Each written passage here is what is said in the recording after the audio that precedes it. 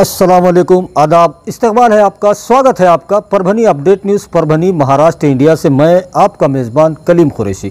आइए नाजरीन, डालते हैं आज की सबसे अहम और ब्रेकिंग न्यूज़ पर नज़र। नाजरीन, कल कल 6 अगस्त को भी कर्फ्यू में ढील दी गई है और कल 6 अगस्त को सुबह नौ बजे से शाम पाँच बजे तक वो तमाम दुकानें, तमाम कारोबार चालू रहेंगे, जिनको ज़िला प्रशासन ने पहले से चालू रखने का आदेश दिया था और वो तमाम दुकानें, तमाम कारोबार बंद रहेंगे, जिनको ज़िला प्रशासन ने पहले से बंद रखने का आदेश दिया था, जिसमें होटल, पान शॉप और जरदा स्टोर और दूसरे कारोबार आते हैं, जिनको पहले से बंद रखने का आदेश दिया गया था।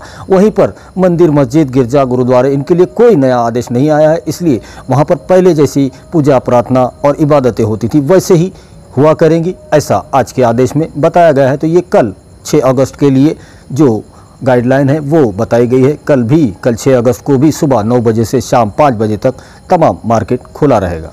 वहीं हम अपने दर्शकों को बता दें कि चार चार अगस्त को, चार अगस्त को परभनी के जिला कलेक्टर दीपक मुंगड़ीकर साहब ने जो एक आदेश निकाला था, उसमें ये बताया गया था कि परभनी शहर महानगर पालिका हद में आने वाली वो तमाम दुकानें, वो तमाम कारोबार जिनके ज़रिए से कोरोना फैल सकता है और या उनके संपर्क में जो कस्टमर्स आते हैं, उनके वजह से कोरोना वायरस फैल सकता है। इसके लिए उनको रैपिड एंटीजन टेस्ट कराने के लिए कहा गया है और ये काफ़ी सख्ती से ये टेस्ट कराने के लिए कहा गया है। तो इसके अंदर जो अभी सबसे ज़्यादा ज़रूरी है वो तमाम किराना शॉप और तमाम बड़े दुकानदार, उनको कहा गया है और उसी के साथ भाजी विक्रेता जो तरकारी बेचने वाले, फ्रूट मार्केट हो गया, उनको और चिकन मार्केट, मटन मार्केट, मछली मार्केट, इन तमाम को बहुत ही जल्द से जल्द उनको चाहिए कि वो अपना टेस्ट करा ले, रैपिड टेस्ट करा ले, ताकि पता किया जा सके कि उनको कोरोना वायरस हुआ है या नहीं हुआ है। और अगर ये जल्द से जल्द मालूम कर लिया जाता है तो ये काफ़ी उन लोगों के लिए भी अच्छा होगा और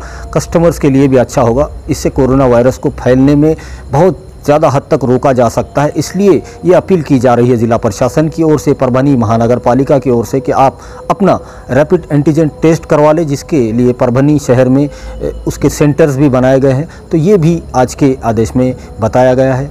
आइए नाजरीन, डालते हैं आज की दूसरी सबसे अहम खबर पर नज़र। दूसरी जो सबसे अहम खबर है, वो परभनी महानगर पालिका से आई है और परभनी महानगर पालिका के आयुक्त देवीदास पवार साहब ने आज आज पाँच अगस्त को परभनी शहर के तीन अलग अलग मुकामों पर, जैसे बस स्टैंड के पास का जो ओवर ब्रिज है, उस ब्रिज के ऊपर एक बलून लगाया है, जिसके ऊपर अलग अलग स्लोगन लिखे गए हैं, कोरोना वायरस को लेकर, कोरोना वायरस की रोकथाम को लेकर, लोगों के अंदर जन जागृति की जाए, लोगों को होशियार किया जा सके, ताकि लोग एहतियात करे।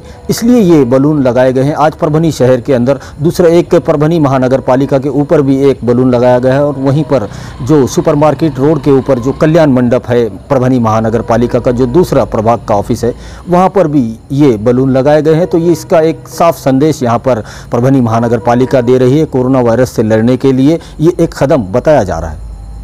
आज पाँच अगस्त को परभनी महानगर पालिका हम आयुक्त साहब से यहाँ पर मिलने आए हैं और जो मैसेज दिया जा रहा है पूरे परभनी शहर के रहने वाली जनता को कि ये एक बलून के ज़रिए तीन जगहों पर बलून लगाए गए हैं, जैसे कल्याण मंडप हो गया और जो ब्रिज है, ब्रिज के ऊपर एक और परभनी महानगर पालिका के ऊपर एक बलून लगाया गया, जिसके ऊपर अलग अलग संदेश लिखे गए हैं कोरोना को लेकर। तो इसका क्या मैसेज देना चाह रहे हैं महानगर पालिका जानते हैं, आयुक्त साहब हमारे साथ, देवीदास पवार साहब, उनसे जानते हैं। सर, क्या मैसेज देना चाहेंगे आप?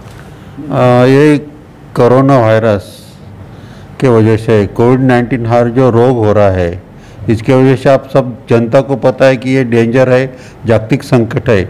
और जागतिक संकट होकर भी बहुत कुछ लोग जन जागृति नहीं हो रही है। इस हिसाब से हम जन जागृति हर हर टाइम से कर रहे हमारे आरोग्य सेविका, हमारे नर्स घर घर के गए हैं, हमारे टीचर्स घर घर के जाके बताए हैं। हम कुछ घंटा गाड़ी पे भी हमने ये उसके संदेश दिए है जनता को को आप अच्छी तरह से रहे तो ये इसको हम, ये कोविड नाइन्टीन को प्रतिबंध कर सकते हैं। लेकिन ये प्रतिबंध करते समय आज भी डे बाय डे ये संख्या कोरोना की बढ़ रही है। ये हिसाब से हमने सोचा है कि ये लोगों के पास जाए कि कोरोना रोकने के लिए, कोरोना का प्रतिबंध करने के लिए क्या क्या क्या करना चाहिए। तो उसमें तीन चार बातें बहुत इंपॉर्टेंट है वो। नागरिकों को हम हर बार विनंती कर रहे हैं कि आप घर से बाहर मत निकलो। अगर घर के बाहर अत्यावश्यक काम के निकल, निकलते हो तो मास्क का यूज़ करो। बाहर गए तो सोशल डिस्टेंसिंग का यूज़ करो सोशल डिस्टेंस रखो और उसके बाद घर पे आने के बाद आप सैनिटाइज़र करो आ, अपने हाथ धो धो लो अपना बॉडी कपड़े धो लो ये हम सब बता रहे हैं। अगर ये माने जाए तो बहुत अच्छा बात है और इस हिसाब से भी ये पूरे शहर में जन जागृति हो जाए ये हिसाब से हमने ये बलून बनाए हैं और बलून हमने तीन जगह पे रखे एक हमारे महापालिका के ऊपर रखा है दूसरा जिंतू रोड के ब्रिज के ऊपर रखा और तीसरा हमारा कल्याण मंडपम जो मंगल कार्यालय, वो लोगों के, ऐसा हो कि पूरा शहर हमने कवर करने का कोशिश किया है कि अगर वो बलून देखे तो नागरिकों को पता चलना चाहिए कि, अरे वाह, कोरोना वायरस है कोविड नाइन्टीन रोग ये आपत्ति है और इसको हम बचना चाहिए और इसके लिए हम कि घर के बाहर मत निकले। घर के बाहर निकले तो मास्क वापरे सैनिटाइजर वापर करो और हम स्वतः स्वच्छ क्लीन रहे और स्वयं पूर्ति से ये करना है। सबको मेरे, सब मेरे परभनीकर वालों को मुझे, मेरी विनंती है कि मैं स्वयं पूर्ति से आप कोरोना को प्रतिबंध करने के लिए हम चार बात जो बता रहे, उसके लिए आप ये करो। और इससे सिवाय हमने जो अभी किया है antigen rapid antigen body test हमने स्टार्ट किया है। उसमें से हमने भाजी वालों को किया है हमने वो किराना दुकानदारों को किया है और अभी सब दूसरे दुकानदार है वो दुकानदारों के लिए और मेडिकल शॉप जो उनके लिए हम कर रहे हैं।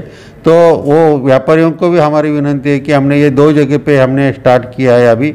एक तो परभनी सिटी क्लब वहाँ पे किया है और दूसरा जो गांधी पार्क में जो स्कूल है वो स्कूल में भी स्टार्ट किया है और वो लोगों ने वहाँ पे जाके एंटीबॉडी एंटीजन टेस्ट कर लो। यानी कि वो, वो अगर पता चले, जो अगर पॉजिटिव निकला तो उनको ट्रीटमेंट मिल जाएगी और नॉन नेगेटिव निकला निगेटिव निकला वो तो वो भी अच्छी तरह से रह जाए बड़े जीवन के लिए। हम विनंती करते हैं, और तीसरा और भी हम आई का जो हॉल है, वहाँ पे भी अभी स्टार्ट कर रहे चौथा, हम टेस्ट के लिए। हम विनंती करते हैं नागरिकों की, आप वो टेस्ट कर लो, जिनको जिनको इसमें स्पेशली जो हमारा कंटेनमेंट जोन है जहाँ जिसके घर में पॉजिटिव पेशेंट निकला है वो घर के और जिसके साथ वो हाई रिस्क वाले वो सबने ये एंटीजन बॉडी टेस्ट करना एंटीजन टेस्ट करना बहुत इसेंशियल है उन्होंने करना चाहिए। नंबर एक नंबर दो जो कोई अ, सर्दी खांसी या गसे में खसखस करता है जो खांसी बुखार आती है तो ये बुखार वाले ने जिन जिन लोगों को ये चार चीज़ आती है वो सब चार लोगों ने वहाँ आके टेस्ट करवा लो। ऐसे मैं विनंती करता हूँ जिन्हें करके अपने परभनी शहर में ये प्रतिबंध करेंगे कि कोरोना वायरस न हो जाए।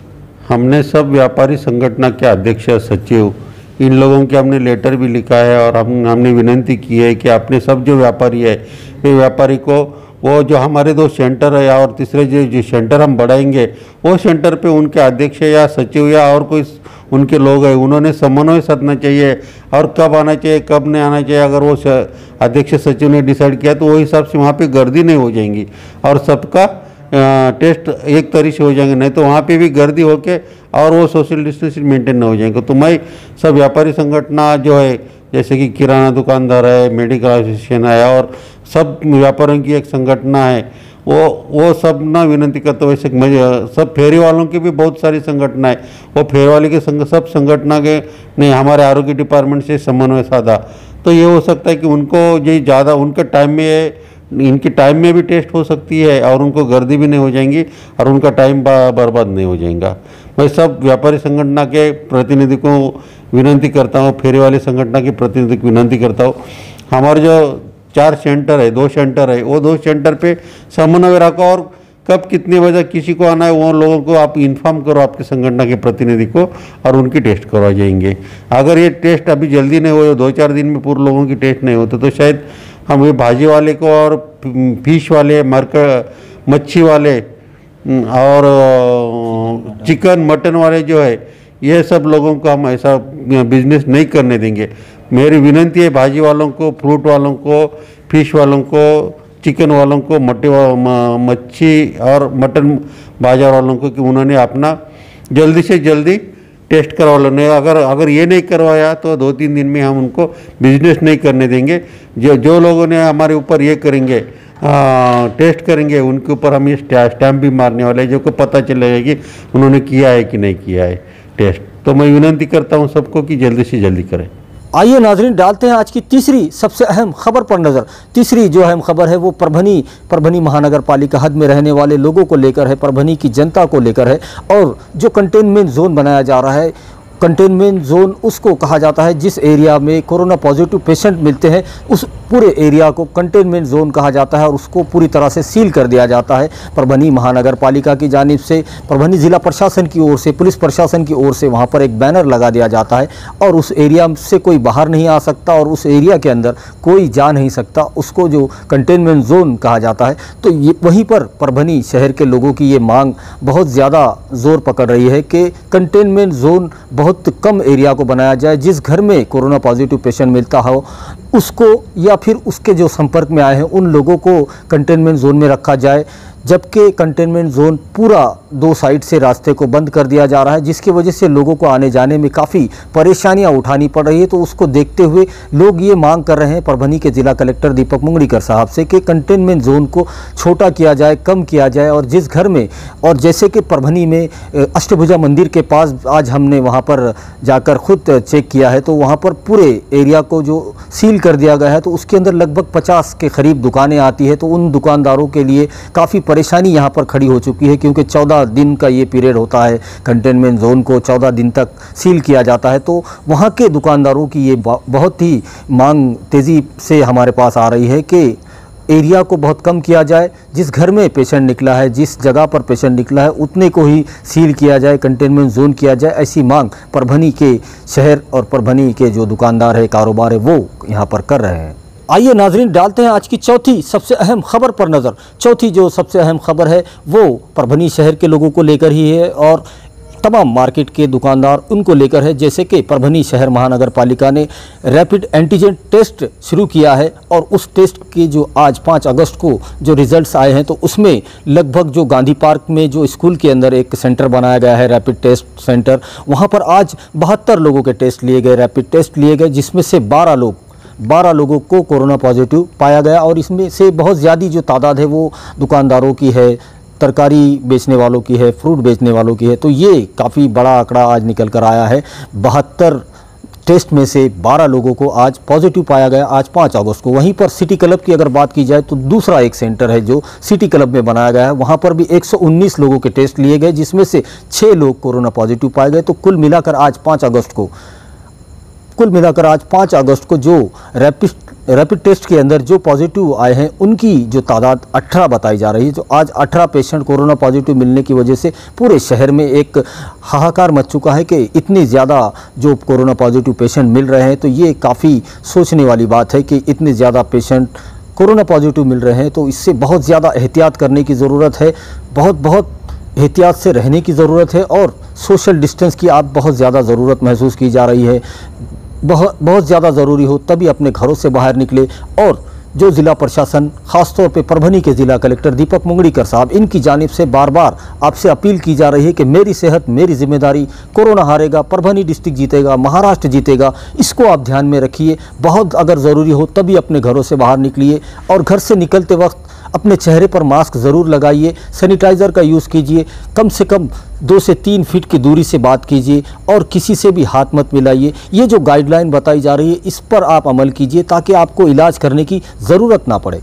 वहीं हम अपने दर्शकों से ये गुजारिश करते हैं, ये अपील करते हैं, ये रिक्वेस्ट है हमारी आपसे कि आप हमारे चैनल परभनी अपडेट न्यूज़ को सब्सक्राइब ज़रूर करें लाइक करें शेयर करें और कमेंट तो ज़रूर करें ताकि आपकी राय हमें मालूम हो सके। और बेल आइकॉन का बटन दबाना ना भूलें ताकि आने वाली हर खबर सबसे पहले आपको मिल सके। तो अपना बहुत बहुत ख्याल रखिए। कल 6 अगस्त को जो कर्फ्यू में ढील दी गई सुबह 9 बजे से शाम 5 बजे तक, उसके दरमियान में अपने तमाम ज़रूरी काम कर ले। उसके बाद कोई भी अपने घरों से ना निकले, ऐसी अपील बार बार हम भी अपने चैनल के माध्यम से आपसे कर रहे हैं। तो अपने घरों में रहिए, सुरक्षित रहिए और मुझे दीजिए इजाज़त। आप देखते रहिए परभनी अपडेट न्यूज़।